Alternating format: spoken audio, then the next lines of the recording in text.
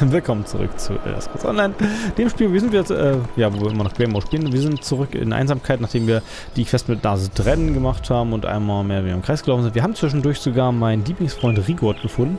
Der ist nämlich, äh, ja, genau, der ist am Frostbeckengipfel, aber ich habe diesen Ort anscheinend noch nicht offiziell entdeckt, also sehe ich ihn gerade gar nicht. Naja, auf jeden Fall, der war irgendwo hier in der, im Wasser hier, nee, da, keine Ahnung. Okay, ich habe ihn wieder verloren. Ich habe wieder vergessen, wo er war. Ich glaube, es war da. Wir werden uns um Rigo bei Zeit nochmal kümmern. Bis aber soweit ist, kümmern wir uns noch um ein paar Hauptquests, äh, Nebenquests, die hier in Einsamkeit ablaufen, weil wir sind ja eigentlich in unserer Hauptquest, sollen wir uns ja mit Lyris in irgendeiner komischen Hütte finden, die ist ein Stück außerhalb, also ein ganz kleines Stück außerhalb, eigentlich wirklich winzig. Und, warte mal, fährt Was ein? ist denn nee. das? Ja, ja, Eine angehende Antiquar. Ja, ja, Antiquaren will ich gleich, aber es gibt noch eine andere Quest, die, genau, vorne ist mich das noch an alle Antiquare. Das ist, soweit ich das verstanden habe, ist das die Sammelquest von diesen Add-on-DLC. Ihr wisst schon, diese Sammelquest, die ich für die anderen 20 Add-ons auch noch nicht gemacht habe. Obwohl ich die Psychic-Sammelquest eigentlich schon immer machen wollte, weil Sandra damals meinte, dass die Beschreibungstexte echt lustig sind von den Gegenständen. Ja klar, ich könnte es auch nachgucken. Ich würde es ja wenn dann selber machen. Ist aber noch nicht passiert. An alle Antiquare. Habt ihr ein Faible für Antiquitäten? Lassen uralte Relikte euer Herz lauter schlagen? Halt, halten euch Kultur und Text. Und Geschichte vergangener Zeiten nachts auf den Beinen? Macht ihr gerne eure Hände schmutzig? Der Antiquarianenzirkel sucht fähige Gelehrte, Antikologen, Naturhistoriker und Erkunder für ein aufregendes neues Projekt. Seht die Welt, bergt vergessene Relikte, lüftet uralte Geheimnisse, buddelt Dinge aus dem Dreck aus. Interessenten sollten sich bei Verita Numidia in den nördlichen Zweigstelle der Universität von Gwilin in Einsamkeit melden. Werde Teil der Geschichtsbücher, schließt euch den Antiquarianenzirkel an. Reginus Buka, Nachtrag. Nur jene von höchstem Intellekt und mit einem natürlichen Talent für mystische Künste sollten sich bewerben. VN. Ja. So. Artefakte aus. Das ist Fundling, da steht er. Bisher habe ich die jährliche Verbrennung von König Olaf noch nie aber warum war der gerade feindlich? Irgendwas mit Werwolf war. Oder am Ende kommt hier raus, dass die Hälfte der Bevölkerung eigentlich Werwölfe sind. Da fällt mir wieder das gute alte äh, Lagerfeuerspiel Werwolf ein. Ich bin unglaublich schlecht in Lügen. Das macht dieses Spiel ein bisschen kompliziert für mich. So, das ist der Antiquarianenzirkel. Wir sehen hier bereits ein paar intelligente Exemplare der Gattung Ork. Ja die sich gerade darum bemühen, hier äh, bei den Antiquaren äh, Fuß zu fassen. Hallo, Verita Numida. Lasst mich raten. Ihr habt einen von diesen lächerlichen Handzetteln gefunden, die Reginus überall in der Stadt ausgehängt hat. Ihr Götter, es ist, als hielten wir ein Vorsprechen für ein Kindertheater ab. Bitte versteht, das ist eine ernstzunehmende Verpflichtung. Wünscht ihr wirklich, euch dem Antiquarenzirkel anzuschließen? Äh, naja, für mich ist die Verpflichtung wahrscheinlich nicht ganz so... Ja, erklär mal erstmal, was es damit auf sich hat. Die angesehenste Geschichtsgesellschaft der Universität von Gwülim. Wir durchkämmen den Kontinent nach verlorenen Antiquitäten und katalogisieren dabei die Sammlungen. Wir haben hunderte von Entdeckungen gemacht, nicht zuletzt dank unseres Hellsichtwerkzeugs, dem Auge des Antiquars. Ach, ich dachte schon den Augur. das ist, äh, ja, und was hat es damit auf sich? Eine Erfindung des Gründers unserer Universität, Tjurhane Firre. Mit ihm kann der Geist des Anwenders große Entfernungen zurücklegen und vergrabene Relikte finden. Wahrheiten, die als verschollen galten. Ein Blick in das Auge erfordert ein gehöriges Maß an Talent. Ich frage mich, wie talentiert ihr wohl seid. Ähm, für diejenigen von euch, die auch noch nie was von der Universität von Gülen gehört haben, es ist, also erstmal, das Gwilym ist ein äh, walisischer Nachname, der irgendwie eine Ähnlichkeit zu William oder Glaum hat. Oder aber es ist eine Universität in Cyrodiil. Und ich habe von dem Scheißding noch nie was gehört. Guillaume anscheinend. Ähm, genau, und das ist, äh, einer ihrer besten Wissenschaftler war Tuyon Führer, den du gerade erwähnt hast, der äh, über ihre. Achso, sie war ja selber ein Aidlide. Ach ja, okay, gut. Judy. Und das Ding wurde anscheinend in allen Elder Scrolls Teilen seit Morrowind mindestens einmal erwähnt, so ich das hier gerade sehe. Also es wird nur erwähnt in allen vier Teilen. Steht hier zumindest im Wiki, also wir kommen da nicht hin. Aber ich habe davon, ich habe anscheinend diese Notizen oder Erwähnungen bis jetzt ignoriert, weil ich habe von den noch nie was gehört. Seid hiermit informiert. Na gut, äh, wie fange ich an? Die Aufnahme in den Zirkel beginnt sehr simpel. Legt einfach eure Hand auf das Auge des Antiquars. Falls ihr über die Begabung verfügt, werdet ihr euch umgehend auf das Auge einstimmen. Falls ihr die Begabung nicht besitzt, wird das Auge euch zurückweisen. So einfach ist das. Ja, das ist aber eigentlich relativ simpel, oder? Ich meine, da kann man doch eigentlich gut Bewerber aussortieren, oder nicht? Ja, aber erzähl erstmal ein paar Sachen über das Auge des Antiquars. Das hört sich doch recht interessant an, oder nicht? Es ist ein großartiges Gerät. Aleidischer Herkunft. Wie ich schon sagte, Tjohane Firre, der Gründer unserer Universität, entwickelte es zusammen mit zahllosen anderen Werkzeugen für Gelehrte. Leider starb er, ehe wir das wahre Potenzial dieses Gegenstands vorführen konnten. Oh, das ist ein R. Tjohane hat sich erstmal an wie ein Frauenname. Na gut, was soll's. Äh, hier zum 20. Mal die Erwähnung, dass wir uns in der magischen Endzeit befinden und dass das äh, die Zeit des Helden schon vorbei ist und das hier eigentlich, das ist ein bisschen wie bei Warhammer hier, dass die Technik der Alten versteht zwar keine Sau mehr. Also beim Warhammer Wissen ist recht begrenzt. Ich werde irgendwann mal ein paar Bücher darüber lesen, dann kann ich vielleicht mehr erzählen. Aber long story short ist das bei Warhammer ist es auch so, dass das Imperium so ein paar alte Waffen hat, die recht groß sind, die die nicht mehr herstellen können und, und, eigentlich nur noch bedienen. Die wissen nicht mehr, wie es funktioniert, aber sie haben die halt noch.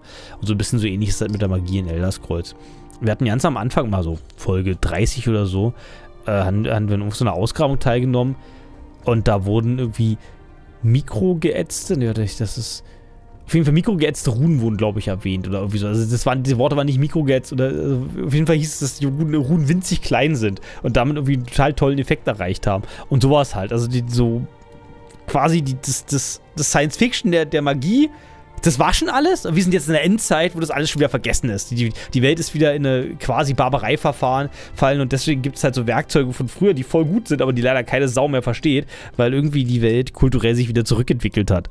Äh, ja, und was genau macht das Werkzeug jetzt? Es richtet sich auf Objekte von historischer Bedeutung aus, wie ein Bluthund. Nur ohne das Bellen und Sabbern natürlich. Wir verstehen immer noch nicht ganz, wie es den Wert eines Gegenstands bestimmt, ich schätze, das ist ein weiterer Beweis für das Genie unseres Gründers. Ja, das ist genau das, was ich gerade gesagt habe. Ne? Also die haben halt so ein Stück Magie hier, das sie nicht verstehen und das ist auch in den letzten... Warte, wann wurde das Ding gegründet? In der zweiten Ära? Also ist auch schon wieder irgendwie ein paar tausend Jahre her. Warte mal, in der zweiten Ära 455? Oder das ist dann gar nicht so weit her. Ah ne, Humphrey was? Humphrey ist es... Warte mal, Turframe, wann war denn das? Äh, in der ersten Ära 2700... Ne, warte mal. Oh, das, der ist aber gar nicht so lange tot. Okay, gut, das ist, das ist dann ist das in diesem Fall jetzt gar nicht so, so also sie hatten nur 300 Jahre. Warte, Eiliden haben bis 272 und also das das ist gar nicht so alt gewesen. Also das war ein elidischer Elf. Jetzt muss ich doch mal meine Timeline gucken. Moment, wo habe ich denn hier? Die ISO-Timeline. Also, König Eirens Krönung war 580. Und der ist in der zweiten Ära 227 gestorben. Also vor 353 Jahren. Okay, in 353 Jahren hat niemand es geschafft, dieses Gerät zu verstehen. In einer Gemeinschaft von Gelehrten. Das sagt dann nicht alles über den technologischen Fortschritt aus, den sie hier haben. Er ist eher negativ. Naja, gut, und äh, wie viele von den Dingern haben sie? Wir haben mehrere aus einem Gewölbe in Elin hier geborgen. Offenbar wollte der weise Firre, dass die Universität ihre Besten und Klügsten darauf ansetzt, seine Arbeit fortzuführen, wenn er einmal nicht mehr unter uns weilt. Es hat länger gedauert, als es ihm lieb gewesen wäre, doch ich ehre sein Erbe. Äh, ja, und das ist was genau das Ziel. Gut, die wollen Antiquitäten sammeln. Wenn man keine eigene Geschichte hat, sammelt man halt die von anderen Leuten, ne? Wir suchen vor allem die Wahrheit. Geschriebene Geschichte bietet nur selten ehrliche Aufzeichnungen über die Vergangenheit. Deshalb gehen wir direkt zur Quelle. Relikte, Andenken, sogar uralter Tant. Alles kann uns mehr über die Vielzahl an Kulturen in Tamriel lehren. Äh, ja, hm, schön. Und das, das die Relikte, natürlich sind die Relikte wahrscheinlich wertvoll, ne? Das ist ja mal so das, das klassische historische Problem, dass halt irgendwie viele Relikte, wenn es nicht so noch ein paar Tonscherben sind, sind halt leider ärgerlicherweise auch total wertvoll, sodass die A private Sammler anlocken und B irgendwelche Glücksritter, die an private Sammler verkaufen wollen das ist halt irgendwie ärgerlich, wenn du dich tatsächlich für die Historie dahinter interessierst. Und C, wenn die Dinge aus irgendwelchen Gründen aus Gold sind, hast du gleich das nächste Problem im Haus. ich vermute, ihr meint den Handelswert. Ja, ihr könnt alle Relikte, die ihr bergt, behalten und damit anstellen, was ihr wollt. Hä? Das Hauptinteresse des Zirkels ist es, die Entdeckungen zu katalogisieren und so viel darüber zu erfahren, wie wir können.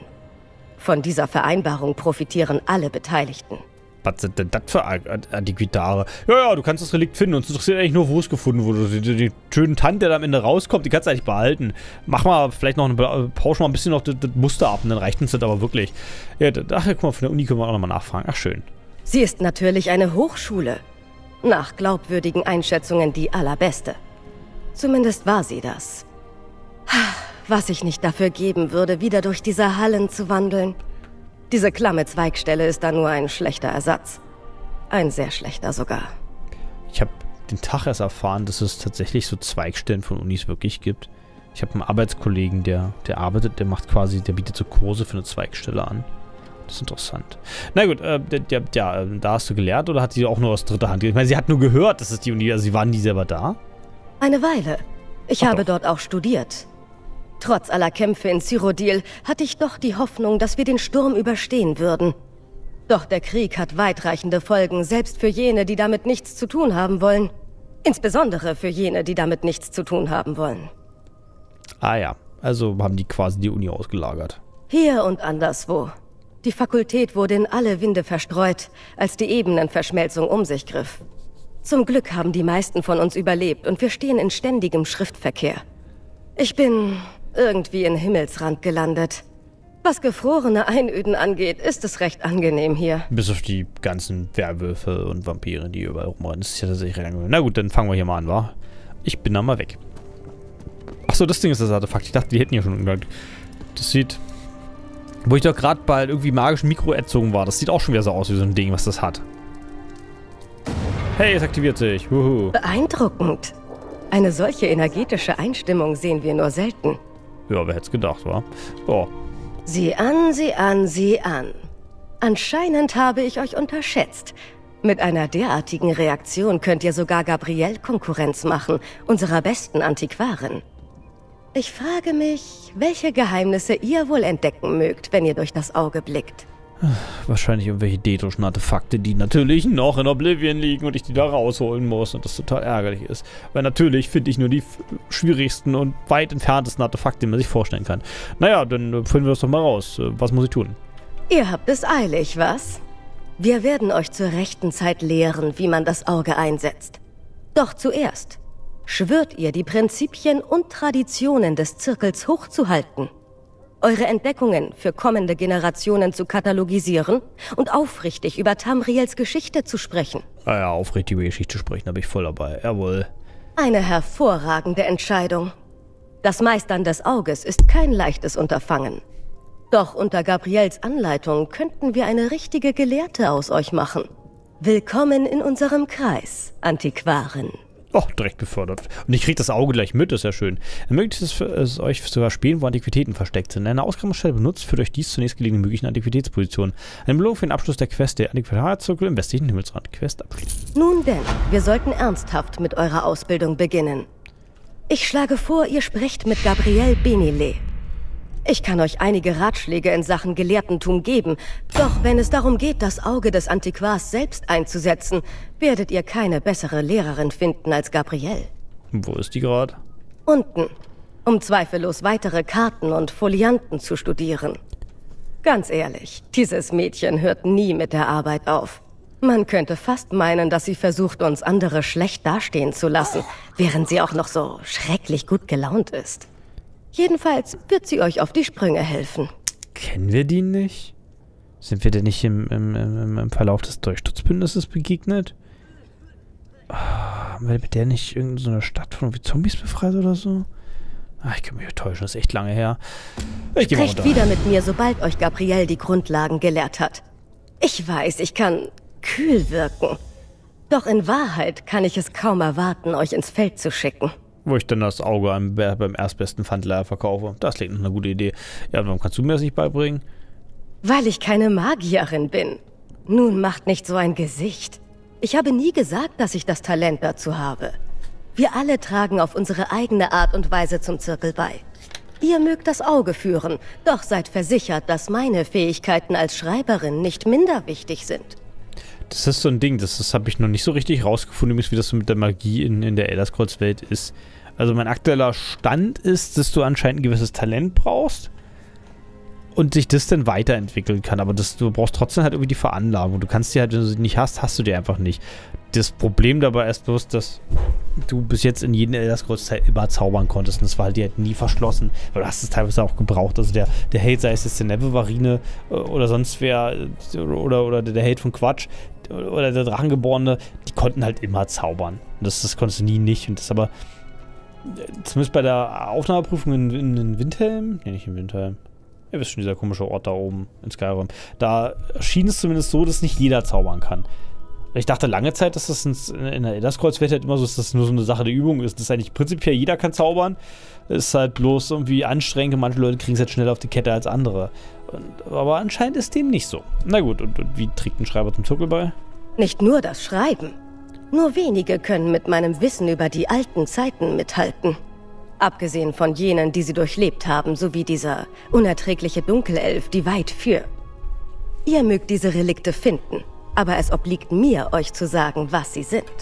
Äh, ja, sie ist doch ein Mensch, oder? Ja, das ist halt so ein bisschen das Problem, ne? Weil die, die, die, Elfen und Magier haben ja irgendwie all den Vorteil, dass sie recht langlebig sind. Das macht ja natürlich so das Historikertum natürlich ein bisschen leichter, ne? Und, oh, sie sitzt im Rollstuhl. Willkommen beim Zirkel, Kerum. Ich bin die hiesige Exzentrikerin dieser Organisation. Falls ihr also bizarre, aber doch vollkommen plausible Geschichtstheorien mögt, bin ich eure Elfin. Dafür, dass sie im Rollstuhl sitzt, bewegt sie die Beine ganz schön viel. Äh, na, vielleicht hat sie ja noch irgendwie so Muskelschwäche oder so. Willkommen im Antiquarenzirkel. Zerbrecht euch bloß nicht den Kopf darüber. Schon bald werdet ihr uralte Relikte finden. Darunter bestimmt auch Ersatzschädel. Versteht ihr? Nur ein bisschen Antiquarenhumor für euch. Seht ihr, wir sind nicht alle so staubtrocken wie ein leeres Tintenfass. Wir machen auch Späße. Mhm, Späße. Ich warte, ich gehe kurz mal im Keller, dann können wir lachen. so, okay. Willi, äh, irgendjemand war hier noch, mit dem ich noch sprechen konnte. Tom Tom der Agonia. Heißt Tom Tom. Ist tatsächlich Agonia. Mensch, wer hätte gedacht. Äh, hä, stand hier nicht gerade noch ein Typ am Feuer? Ach hier, da ist er. Auf ein wackeres Treffen, Antiquarin. Und willkommen im Zirkel. Ihr habt keine Ahnung, was für eine Erleichterung es ist, eine andere Kriegerin an Bord zu holen. Offenbar sind in der Welt kaum noch welche von uns rauflustigen Gelehrten übrig. Ich, ich, ich stelle mich selbst immer mehr so als der Indiana Jones oder die Lara Croft der äh, Antiquaren vor. Thermo. Ist hier oben noch was Schönes zu holen? Oh, Leute, die ich attentätern könnte. Oh, ich glaube, das ist da oben gerade auch passiert, oder? Das, ich weiß nicht, ob es so, ob so Guides gibt, die halt bestimmte Orte äh, besonders hervorheben, wo man gut Leute, einzelne NPCs sich greifen kann. Also die steht hier oben, steht die schon ziemlich großartig, ne? Also wenn es mir nur ums Umbringen ginge. Die steht hier großartig, ne? Ja, also wie gesagt, also ich schwöre auf jeden Fall, dass das Beste für die, für die Diebes... Ähm, äh, Antiquaren-Grill zu tun. Ach genau, das ist ja der Verein, bei dem wir hier gerade mitmachen. Mensch, ich bringe das natürlich durcheinander, wenn man bei so vielen Leuten arbeitet. Oh, das ist das Auge? Ach, das ist ja cool. So, die, die, die kennen wir auf jeden Fall. Der Name kommt mir so bekannt vor. Die, die begrüßen uns bestimmt gleich mit Handschlag, oder? Oh, ihr seid es. Was für eine schöne Überraschung. Bei Mara, es fühlt sich an, als wäre diese Angelegenheit mit Angov schon ein ganzes Leben her. Es freut mich zu sehen, dass ihr euch nach wie vor bester Gesundheit erfreut. Verita hat euch also ein Auge des Antiquars gegeben, hm? Habt ihr vor, euch dem Antiquarenzirkel anzuschließen? Das habe ich bereits getan, aber... Äh, warte, ich habe gerade das Wiki offen. Ich gucke gerade nach, was sie eigentlich genau tut hier. Äh, äh, in Glenumbra sind wir begegnet, genau. Irgendwas mit Talisman, äh... Äh... Äh... Uh -huh. Uh -huh. Äh, ach ja, mit der haben wir diesen Talisman aufgeladen. Ja, gut, ich erinnere mich wieder. So. Grob. Na gut, äh, das ist, äh, was hast du denn seitdem gemacht? Ach, ich habe mich auf die Suche konzentriert. Ich fand keine Ruhe, weil ich wusste, dass Darien noch da draußen ist. Eingesperrt in Farbenspiel. Ich wollte ihm helfen. Irgendwie mit ihm sprechen, wisst ihr. Aber so einfach ist es nicht. Darien, das ist im Farmspiel. Das Farmspiel ist, glaube ich, das einste Reich der D drin. Ne? Und wir sind Darien Gauthier, sind wir das letzte Mal. Wie ist denn der überhaupt eingesperrt? Von daher kann ich mich an kann ich mich gar nicht erinnern. Ich war auch relativ überrascht, dass wir in dem Sommerscent als der, als der Goldene Ritter begegnet sind. Weil ich mich nicht mehr erinnern konnte, dass da überhaupt irgendwie Meridia zugefallen ist. Also das Farmspiel ist dann wahrscheinlich das Reich für Meridia. Aber wir haben auch wieder Hinweise auf Meridia in L2 gefunden, möchte ich übrigens mal kurz feststellen. Haben wir immer diesen komischen goldenen Stein geführt, der irgendjemand in den Wahnsinn getrieben hat. War anscheinend der richtige. Also, so viel dazu. Aber jetzt ist Darin ja auf jeden Fall weg. Hätte nur sein eines Buch hinterlassen können, der Arme. Tja, ähm, achso, ja, ich habe übrigens geguckt. Genau, auf den Sommersindinsel. Ja. Darien ist zurückgekehrt? Wo ist er denn jetzt? Warum hat er sich nicht bei mir gemeldet? Äh, tja, das ist, Meridia hat ihn immer noch. Oder halt auch nicht mehr. Das wissen wir eigentlich nicht so genau. Das, das klang für mich so, als wäre er eigentlich für alle Ewigkeiten weg, ne? Doch er war hier. Er war hier und ich habe die Gelegenheit verpasst. Wenn ihr sagt, dass er verschwunden ist, wie meint ihr das? Hat er etwas gesagt? Naja, das ist, klang sehr nach Abschied, weil er wollte wissen, dass das, wir bedeuten ihm viel und das ist, äh, der hofft, dass wir ihn niemals vergessen. Außer ich halt, der ihn andauernd vergisst. Dann meinte er nicht, dass er wieder zurückkommen wird? Darien war doch immer so zuversichtlich und beherzt. Der wichtige Teil ist, dass wir wissen, dass eine Flucht möglich ist. Ich gebe ihn nicht auf. Wir werden einen Weg finden, um ihn dauerhaft zurückzuholen. Das weiß ich. Also, Kopf hoch. Richtig? Richtig. Stimmt, die war immer so gut gelaunt. Das hat die, hat die oben ja auch gesagt, ne, dass das Thema so gut läuft. Wollte ich jetzt, äh, ich gehe da mal. Aber das ist eigentlich, das habe ich noch gar nicht angefangen. Oh, ihr seid es. Ja, ja, hier. Was für Oh. eine... Wirklich? Das ist aber unerwartet großzügig von ihr. Hm. Nun, auf jeden Fall sollten wir anfangen. Es beginnt alles mit der nötigen Konzentration. Das Auge will euch zeigen, was ihr sucht. Also macht eure Gedanken frei und beschwört in eurem Verstand ein Bild des Relikts herauf. Das klingt ja praktisch. Also, das war. Der aufregende Teil. Blickt in das Auge und konzentriert euch auf die Facetten im Glas. Atmet tief durch und versucht, die Symbole zu einem Muster zu vereinen. Irgendwann blickt ihr nicht mehr die Linse an, sondern durch sie hindurch. Warum versuchen wir es nicht einmal? Na, dann machen wir das mal. Verzagt nicht. Ich meine, klar, es ist nicht so, als ob wir hier unten lernen, wie man Reis kocht. Doch jemand mit euren angeborenen Talenten sollte den Vorgang rasch durchschauen. Und wie bei den meisten anderen Dingen gilt auch hier, Übung macht den Meister. Ähm, Ja, in der Tat. Äh, denn, denn, denn, denn, denn. Später haben wir ja, öffnet der Tagebuch mit J und wählt die Antiquität. Achso, ich muss die tatsächlich auswählen. Kann ich die nicht. Äh. Achso, hier. Okay, ist nicht wie viel kurz. Ach, du, hier, was denn hier? Achso, hier, ich sehe hier direkt, was es alles gibt.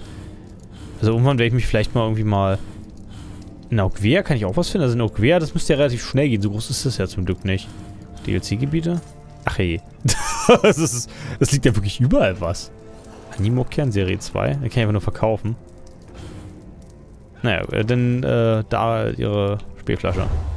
Ach hey. Ach, das ist Gut dieses gemacht. Minispiel. Richtet nun euren Blick fest auf die Mitte und die Ecken der Linse. Verlagert euren Fokus danach nach innen auf die Facetten im Glas. Konzentriert euch. Dann sollten die Facetten verschmelzen. Das. Vereinen der Linse in einem einzigen Muster stimmt das Auge perfekt ein. Aber für eine ungefähre Ahnung vom Standort des Gegenstands muss man nur die Foki erreichen.